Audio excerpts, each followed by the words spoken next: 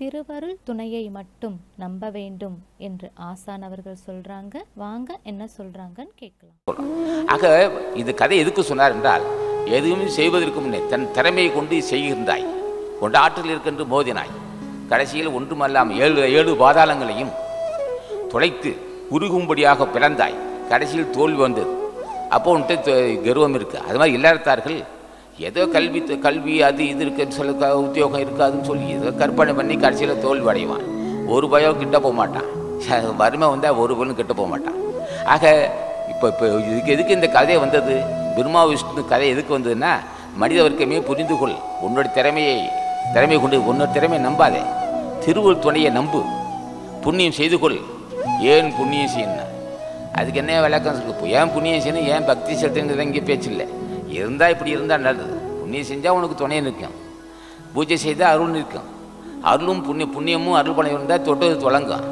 வாழ்க்கையில் தோல்வி இல்லாமல் போவேன் இல்லைன்னு சொன்னால் வெளியே தெரியாமல் இன்னும் இப்போ ஈரோடுலாம் ஈரோடு திருப்பூர் எல்லாம் வெளியே தெரியாமல் சில குடும்பம் சாகுது. வெளியே தெரியாமல் அல்லல் போட்டுக்கிட்டு இருக்கான் அதில் வெகு ஸ்தாபனங்கள் போச்சு பொருளாதாரத்தை நாட்டு நாட்டின் பொருளாதாரம் நாளுக்கு நாள் நாளுக்கு நாள் நாளுக்கு நாள் அப்படியே தெரிஞ்சிட்டு வருது. எல்லாம் அப்படியே ஸ்தம்பிச்சிருக்கு. அது ஒரு பொது நீதி நாம் புரிஞ்சுக்கணும்லவா உலகம் எப்படி வேணாலும் இருக்கலாம். நாம் நிலை உயர்த்துக்கொள்ள இதுக்கிடையில் புண்ணியம் செய்த மக்கள் இன்னும் ஸ்திரமாக இது ஈரோடு குமாரபாளையம் திரு திருப்பூர் போன்ற பல கோ- கோயம்புத்தூர் போன்ற இடத்தில் இன்னும் புண்ணியம் செய்த நல்லபடி தான் இருக்கிறான் அது சாமர்த்தியம் நினைக்கிற புண்ணியத்தினாலே. சிலர் மட்டும் தோல்வி அடைஞ்சிட்டே போயிட்டு இருக்கான் அது பொது நீதி ஆக இப்போ நாங்கள் இந்த சங்கம் இது ஏன் சொல்லுது என்றால் செய்வதற்கு முன்னே வியாபாரம் செய்வதற்கு முன்னே விவசாயம் செய்வதற்கு முன்னே கல்வி கற்பதற்கு முன்னே உத்தியோகத்தோடு முன்னே ஏ- திருமணம் செய்வதற்கு முன்னே கட்டடம் கட்டுவதற்கு முன்னே எல்லாத்துக்கும் முன்னே திருவள் துணை வேணும் இல்லை என்றால் திருவள் துணை கொண்டு தான் செய்ய வேண்டும் என்று இந்த சங்கம் சொல்வதற்கு நோக்கம் வெற்றி. இந்த சங்கம் எடுத்துக்கொண்ட காரியம் வெற்றி. நூற்றி எட்டு திருமணம் என்றோம் வெற்றி. ஆயிரத்தி எட்டு திருமணம் வெற்றி. அப்போ என்ன செய்தோம்? இந்த தமிழகத்திலேயே பிரச்சனைக்குரியது. நூற்றி எட்டு திருமணம் சொன்னாலே பிரச்சனை. கைக்கூடாது ஒரு துணிச்சல்.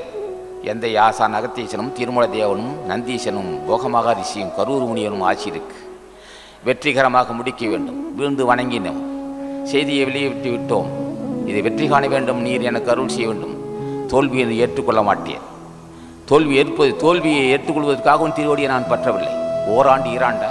ஒரு நாள் இரு நாளா? ஒரு வாரமா இரு வாரமா? ஒரு மாதம் இது மாதமா? ஓராண்டா ஈராண்டா? ஆண்டு கணக்காகவும் திருவடியை பூஜை செய்திருக்கேன் எத்தனையோ பிரச்சனைக்கு வந்தது. எவ்வளவு பிரச்சனை வந்தாலும் திருவடியை நம்பி பூஜை செய்திருக்கிறேன். பூஜை செய்திருக்கேன் மேற்கொள்கின்ற காரியம் தடயம் நடக்க வேண்டும். அப்படி கேட்டிருக்கிறோம். அது மாதிரி அன்பர்கள் கேட்டிருக்காங்க. அப்போ என்ன செய்தோம்? ஞானிகளை வணங்கணும் பண்புள்ள தொண்டர்கள் அமைந்திருக்கிறாங்க. இங்கே இருக்க தொண்டர்கள் ஆண்கள் பெண்களும் நல்ல பண்புள்ள மக்கள். இது காரணம் தலைவன் கொடுத்த பாக்கியம்.